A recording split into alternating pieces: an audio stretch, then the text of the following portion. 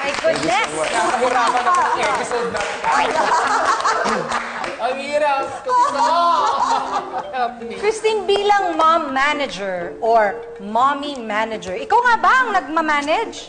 By For default, now. yeah. I, I, For now. I think there's really just no one right now because Right it's now. just a new venture Oo. na we decided to get into nga. Kasi parang it just fell on our laps. Ganun ang mga opportunities talaga eh. Oo, di ba? So parang seize it while, While it's it's there, there, and then we'll oo. just learn it along the way.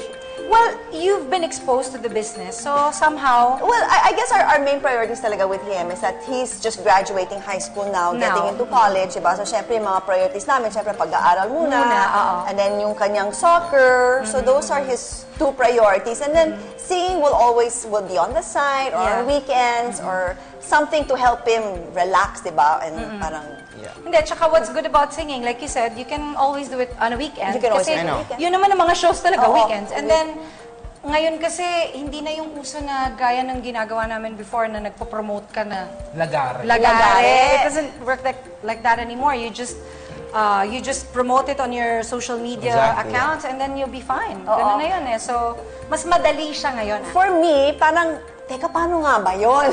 Kasi sanay ako na kailangan mag-promo, kailangan may mga records, may mga CDs. Ngayon, wala na, wala na mga ganyan. Te, wala na. Wala na ba?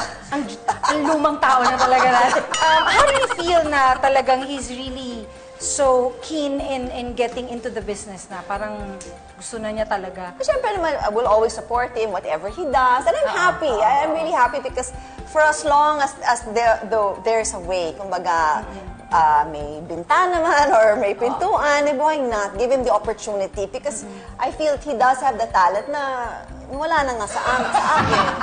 Eh di kawawa naman ako sa lahat ng mga pangarap ko, sa kanya na lang.